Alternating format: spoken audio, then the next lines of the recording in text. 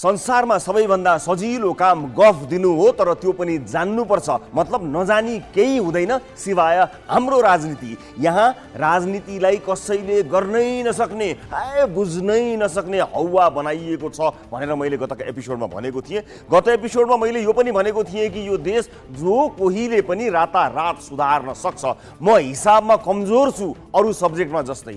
तर म जस्तो हिसाबमा कमजोरले पनि बुझ्न बुझाउन सकिने गरी केही जानकारी दिँदैछु आज। आज यो कुरा बुझाउन सामान्य जोड घटाउ गुणान भाग बाहेक मैले केही गरेको छैन जानेको पनि छैन।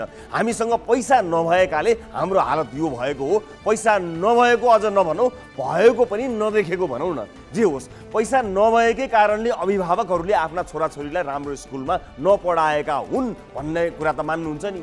राम्रो स्कुल नपढाएका भन्नाले राम्रो school British school युलियन school Rato Bangala Lincoln school बुढानीकण्ठहरूलाई बुझौँ यी स्कुल पढेका एउटा पनि विद्यार्थीले अनस्किल्ड जब गर्नु परेको वा काम नपाएर यहीँ हल्लिएको वा कामै नपाएर खाडी जानु परेको कल्पना गर्नुपर्छ। पर्दैन।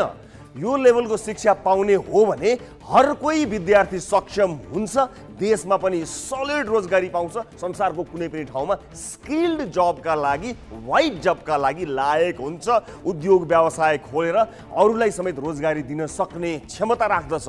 मान्नुहोस् देशका सबै विद्यालयले यी विद्यालयले जस्तै गुणस्तरको शिक्षा दिए भने बराबर अवसर सबैले पाएनन् त तर प्रब्लम पैसा। कक्षा एकका लागि युलियन्सको फी प्रति महिना छयालिस हजार रातो बङ्गलाको फी छत्तिस हजार। मान्नुहोस् यो पैसा कसैले तिरिदियो भने तपाईँ आफ्नो बच्चालाई यस्तै गुणस्तरको शिक्षा दिन रेडी त हो नि? हो युरोप अमेरिका जापान अस्ट्रेलिया चाहिँ किन विकसित भए भने ती राष्ट्रहरूमा भएभरका सारा विद्यार्थीले यिनै युलियन्स रातो बङ्गलाको स्कुलहरू जस्तैबाट शिक्षा पाउँछन्। त्यो पनि फ्री एफआरइई फ्री। हामी कहाँ? पैसा कहाँबाट ल्याउने त भन्ने लाग्यो होला होइन तपाईँलाई? ल सुन्नुहोस्। सबैभन्दा पहिला देशैभरिका विद्यालयलाई यिनै युलियन्स रातो बङ्गला बुढालीकण्ठ जस्तै बनाउन सकिन्छ मजाले सकिन्छ। पूर्वाधारका कुरो गरेको होइन मैले शैक्षिक स्तरको कुरा गरेको हो। सकिन्छ। काम गाह्रो छ तर असम्भव छैन।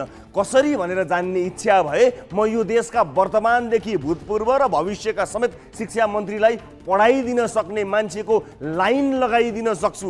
यति कुरा जान्नेको लाइन ब्लाइन्डेड कि सिलुका दिवानाहरूको भन्दा पनि लामो लाइन हुन्छ ढुकाउनुहोस्। छन् मान्छे सिकाइदिने। तर यहाँ चाहियो पैसा अर्थात् प्रति महिना प्रति विद्यार्थी लगभग चालिस हजार कसरी तिर्ने कसले तिर्ने? पहिलो कुरा त ती स्कुलहरूले त्यत्रो पैसा किन लिन्छन् जान्दिनँ तर राज्यले प्रति विद्यार्थी दुई हजारदेखि पाँच हजार मात्र तिरे पनि केही स्तरको शिक्षा दिन मज मजाले सक्छ। ती स्कुलमा पढाइ महँगो होइन। महँगो जग्गा महँगो लगानी महँगो ब्याज दर धेरै मुनाफाको आशा र थुप्रै यस्तै कारणले मात्र महँगो हुन गएको हो। नत्र त्यति महँगो पर्दैन। यो देशमा दुई हजार चौहत्तर सालको डाटा अनुसार करिब त्रिहत्तर लाख विद्यार्थी छन् जो बाह्र कक्षासम्म पढिरहेका छन्। नयाँ प्रविधिको इ लर्निङ लगायतका कारण शिक्षा अब यति कम खर्चिलो र अधिक प्रभावकारी हुन सक्छ कि एक विद्यार्थीका लागि प्रति महिना पाँच हजार भनेको छेलो खेलो। हो त्यो पनि नीति सिति बनाउन घुस खाने र कमिसन खानेको भाग छुट्याइवरी यो भनेको वर्षमा लगभग साढे चार खर्ब हो वर्षमा। अब फेरि मुख्य कुरो पैसो। पैसा कहाँबाट आउँछ? एउटा उदाहरण दिन्छु। हाम्रो देशले नौ खर्ब बढी रेमिटेन्स ल्याउँछ। हामी एभरेजमा महिनाको कति कमाउन खाडीका देशहरूमा जान्छौँ थाहा छ? बत्तिस हजार नौ सय समथिङ कसैले धेरै कसैले कम होला तर खाडीमा बत्तिस हजार नौ सय जति हामी एकजनाको कमाइ हो एभरेजमा। तपाईँलाई थाहा छ भारतले आफ्ना कामदार मार्फत नेपालबाट कति लान्छ? झन्डै साढे तिन खर्ब। हामीले उताबाट ल्याएको चालिस प्रतिशत प्रतिशत जति भारतले रेमिटेन्सबाटै लिएर जान्छ। त्यो पनि औपचारिक च्यानलबाट। अनौपचारिकबाट छ सात खर्ब लग्ने अनुमान छ र त्यही काम गरेर लैजान्छन्। जुन काम गर्न हामी खाडी मुलुकहरूमा जान्छौँ। त्यसैले हामीले काम सानो ठुलो नभनेर कपाल काट्नेदेखि टेलरिङ गर्ने उद्योगदेखि निर्माण क्षेत्रमा काम गर्ने गऱ्यौँ भने चार खर्ब जति त मिनिमम बच्छ। तपाईँलाई थाहा छ भारत हामीलाई उसको देशको उत्पादन बेचेर टन्न पैसा लैजाने देश पनि हो। हामी उसको सामान किनिदिने नवौँ देशमा पर्छौँ। अर्थात् भारत हाम्रो देशमा कामदार पठाएर पनि पैसा लान्छ सामान बेचेर पनि पैसा लान्छ। भारतलाई रेमिटेन्स दिने आठौँ देश हो नेपाल। उसले आफ्नो उत्पादन निर्यात गर्ने नवौँ नम्बरको देश पनि हो नेपाल।